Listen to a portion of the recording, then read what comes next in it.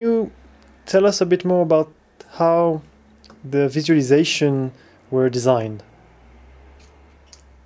Um, so we've had several visualizations actually. The the first one was basically based on the territory metaphor. So each person has a has takes up a certain amount of space in the conversation and and we display that lit almost literally by displaying a sort of territory uh, on the shared space of the table. So the more I speak, the more territory I actually conquer on the table, and um, that sort of idea there was that uh, it would sort of give people an uh, uh, an incentive to not invade other people's territory and to not basically be have a territory that's very very small and which sort of indicates a, a lack of uh, of uh, usefulness, so to speak, in the in the in the conversation.